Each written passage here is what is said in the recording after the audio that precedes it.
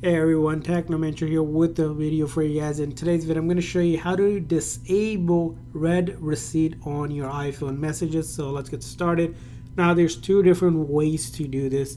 If you wanted to disable for an individual user, first thing you're going to do is go to your messages and then tap on their messages and then tap on their name.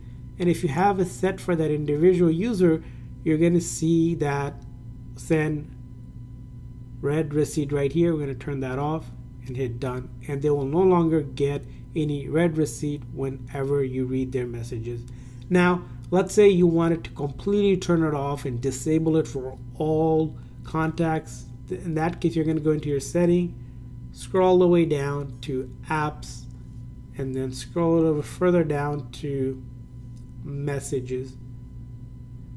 And then go down a little bit further send read receipts right here. This setting you want to turn that off and that's going to go ahead and completely turn it off for all of your contacts and no one will be able to get those read receipts basically whenever you read their messages. So that's how you do it.